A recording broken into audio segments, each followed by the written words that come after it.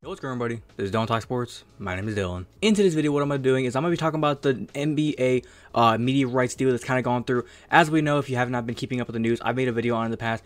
TNT Sports is going to be losing their media rights to the NBA after the following season of the 2024-2025 season. The NBA is going to be signing a deal that's going to be going forward with Amazon. They're going to be signing, bring them on for like a decade-long deal. It's going to be a pretty much a change in like the way we watch basketball going forward. But the little nugget of information that's kind of interesting is TNT actually got overdone on the numbers by Amazon. Everybody was like, okay, this is it. TNT might be done. Charles Barkley announced that he's not going to be coming back if TNT goes away.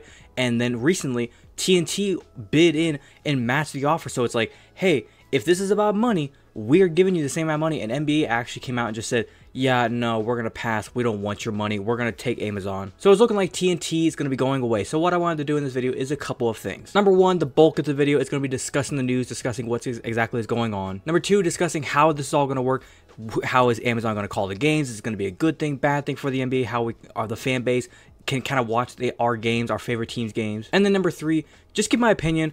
Is this going to, like I said, is it going to be a good thing, bad thing? How is this going to kind of work out for just the overall fan experience of watching? And pretty much lastly, remembering TNT Sports, Charles Barkley, Shaq, Kenny, Ernie. I'm going to miss those guys more importantly. So like I said, I'm going to just talk about it, give my opinion about the whole entire thing, and then just go from there. So without further ado, I'm going to stop rambling, and we're going to get straight into this. So if you're going to enjoy as always, make sure you go and drop a like on today's video.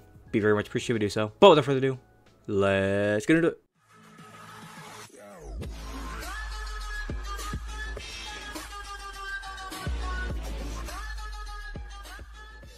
Now, as you can see from this article from ESPN.com, this is whenever Warner Bros. Discovery or just TNT matched the offer with Amazon Prime. They matched the, uh, the whole thing.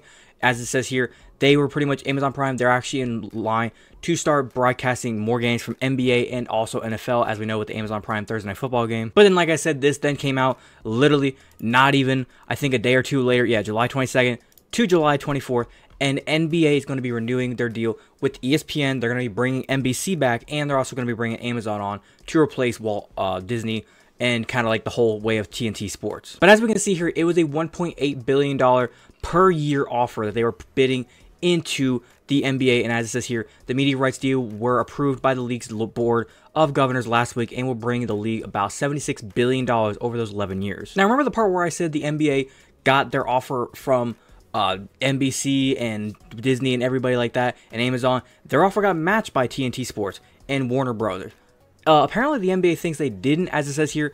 Uh, WBD had five days to match a part of those deals and said it was exercising its right to do so, but its offer was not considered a true match by the NBA. That means that the 2024-2025 season will be the last for TNT after nearly a four-decade run, though not long after the signing was announced, WBD said it would take appropriate action, quote, and said it believes the NBA has to accept its offer. So the way WBD, basically TNT Sports and all of them are making this seem is NBA didn't give a fuck about your offer. They basically said, we want to go with NBC and NBC. You could have given them, as we see, $76 billion. You could have put it up to $90 billion, $100 billion.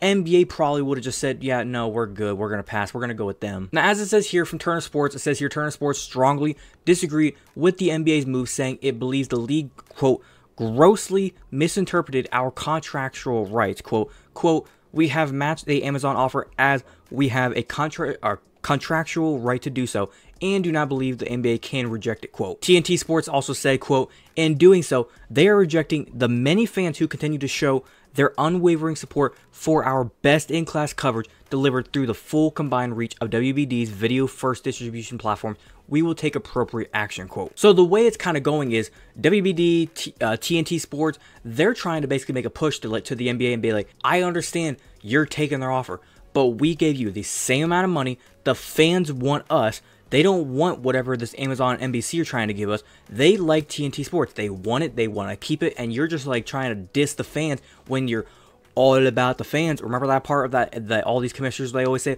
"Yeah, we're all about the fans."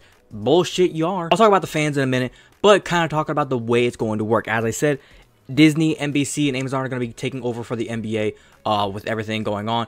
As we can see here from NBA rights, who gets what. This is kind of how the scheduling is going to work. As we can see, Disney slash ABC and ESPN, they're going to be like the A team. They're going to be the guy or the crew that kind of call the games, like the Mike Breen and all the other com- commentators and color commentators and ca- casters. They're the ones that are going to be calling like the main games. As it says, they're going to continue broadcasting the NBA Finals. They're going to be like the main crew. They're going to get a total of 80 regular season games. So like your Tuesday night prime time, your Friday night countdown, or whatever maybe those games. They're also going to get all five Christmas Day games. They're going to get exclusive national coverage of the final day of the regular season. They're also going to get conference finals series or the series of finals, whether it be Eastern Conference or Western Conference finals, in 10 times in the agreements of the 11 years. Basically saying one of those years, NBC and Amazon are going to be getting both the Western Conference and Eastern Conference. NBC, which also is going to be NBC or Peacock, you can watch on either one. They're going to be getting up to 100 regular season games each season. They're also going to be getting the opening night doubleheader. They're also be getting, getting going to be getting conference finals in six of the 11 years. So six out of the 11 years, at least one of the series are going to be on NBC slash Peacock. Starting in 2026, they are going to be getting the All Star Weekend. They're also going to be getting the USA Basketball Senior Men's and Women's Games. I don't know if that counts for the Olympics or if they're just talking about like World Cups or like anytime the U.S. men's teams or in women's teams are going to be like going around playing. NBC uh, slash Peacock, they're going to be getting those games, which I think probably counts for the Olympics because it is on currently as we speak. And then with Amazon, they're going to be getting all six NBA play-in tournament games. They're also going to be getting one third of games played in the first two rounds of the playoffs. They're also going to be getting conference finals in six of the 11 years. Like I said, Eastern Conference or Western Conference. They're also going to be getting a new game on Black Friday, day after Thanksgiving. And they're also going to be getting all the knockout rounds of the NBA Cup. Now, here's my thing with all this Disney, ABC, and ESPN. Love it. Everybody has ABC and ESPN on cable. Uh, NBC, everybody has NBC. Most people have NBC on cable. Peacock, you don't need it. As I said, NBC or Peacock, whichever one works for you. If you have NBC, boom, you're covered. With Amazon, you're basically saying, do you want to watch the play-in tournament games? Let's say your team is good and they go to the play-in tournament. Oh, wait, remember last year where we could watch on TNT Sports for free? Oh, yeah. Now you have to pay an extra $10 a month or $100, whatever maybe a year, to watch Amazon Prime. And then say your team is really good.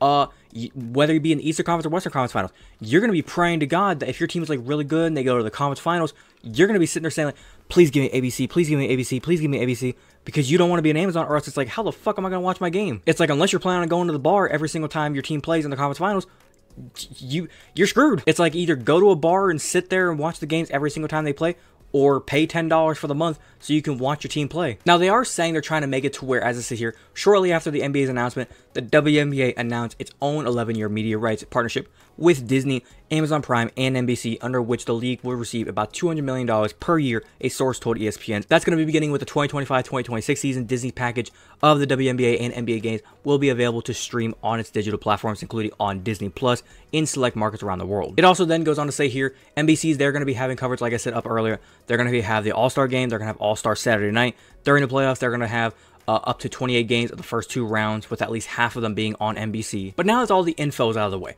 here's what I want to talk about when I would just give my perspective behind it.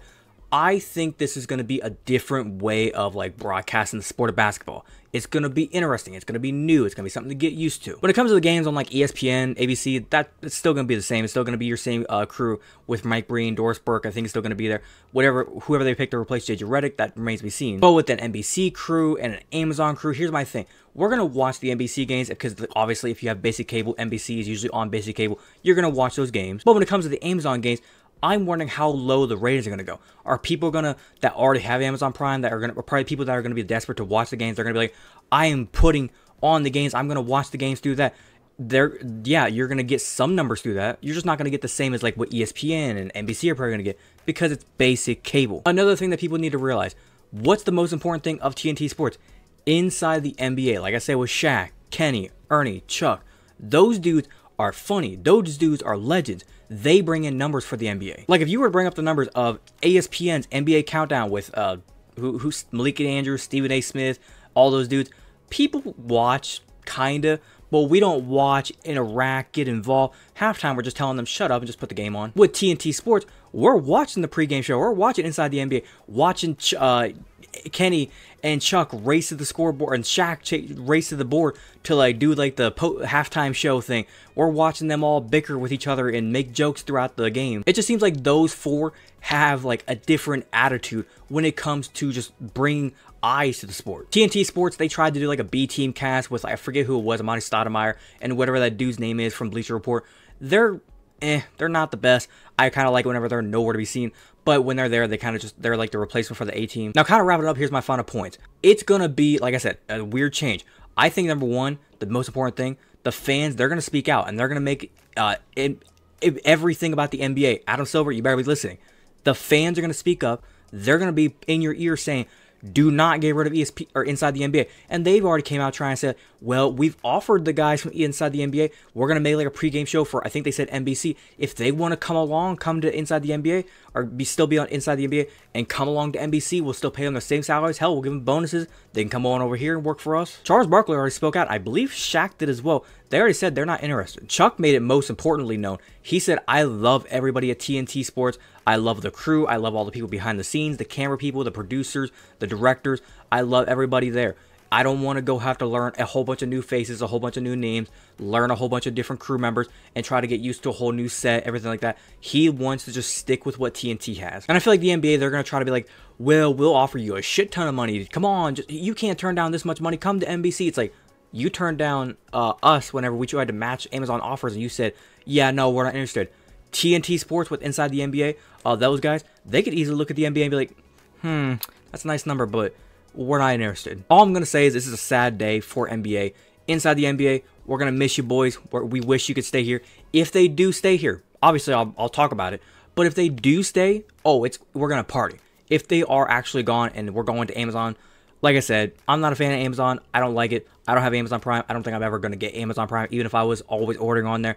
I just don't feel like it's needed. But going forward, it's it's going to be different for watching basketball. That's all I'm going to say. But other than that, I think I'm going to wrap it up there. Hopefully you guys did go and enjoy today's video. If you did enjoy, it, as always, make sure you go and drop a like on today's video. Be very much appreciated you do so. If you wanted to watch the entirety of today's video, thank you very much. And like I said, if you have a different opinion, do you agree or disagree with anything I said?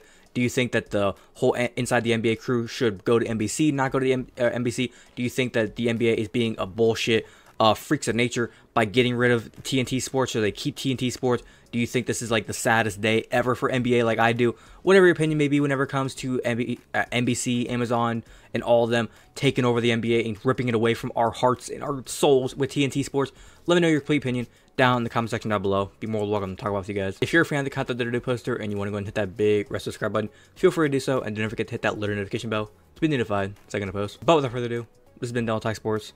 Have a great day. Peace.